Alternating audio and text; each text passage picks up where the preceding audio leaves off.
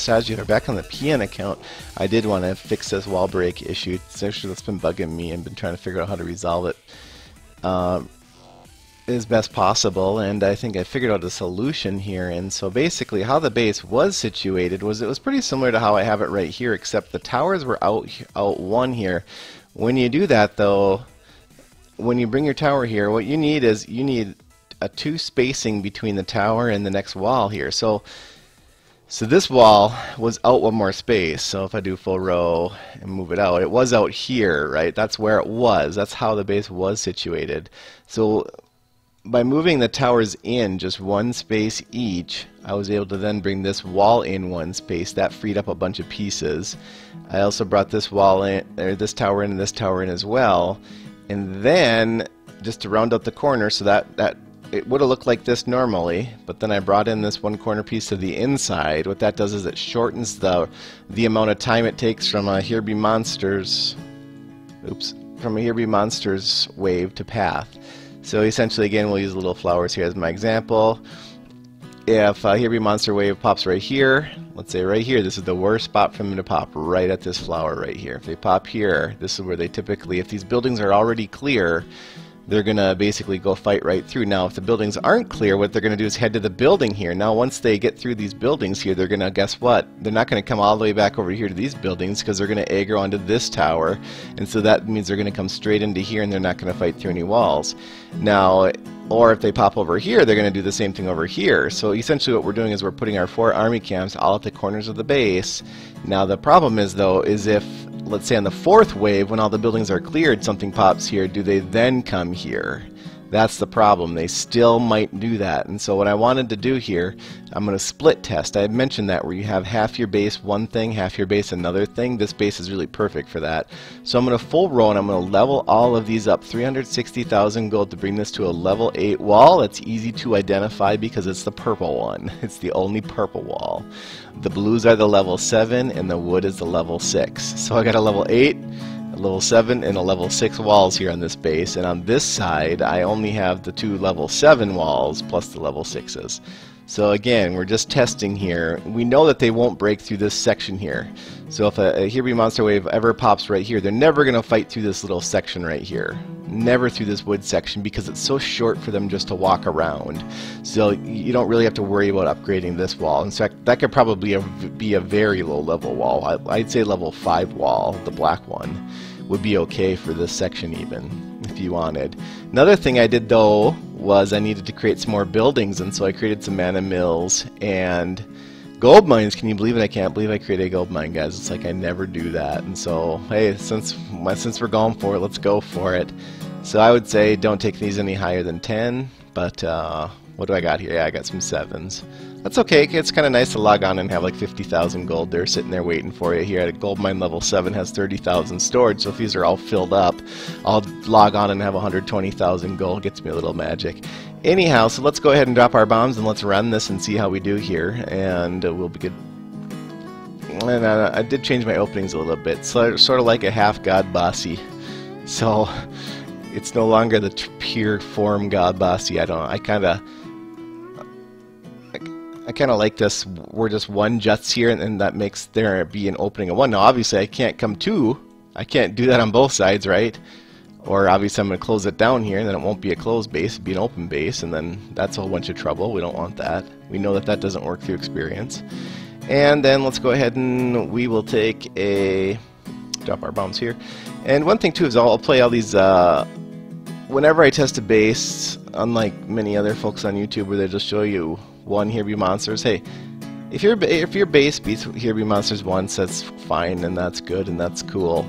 But if your base beats Here Be Monsters, the one that you're working on, like C, like we're working on, five times straight or six times straight, that says something much more powerful. I don't really like to recommend a base until it can beat a wave six times straight with no loss. So I'm going to play the first one maybe it's like three or four times speed video, and then I'll play the rest of them at a really higher speed video, and I'll, and I'll come back with commentary at the end, and I'll kind of let, and we'll just kind of recap what happened here. And uh, we're not going to change this base. We're going to test. We're not going to modify this base in between waves. We are simply going to see how it does six times. I have six built up here, and uh, we'll, we'll maybe make some changes then. Maybe we'll throw the whole base away. Who knows? Let's just find out how it does, and we'll go from there.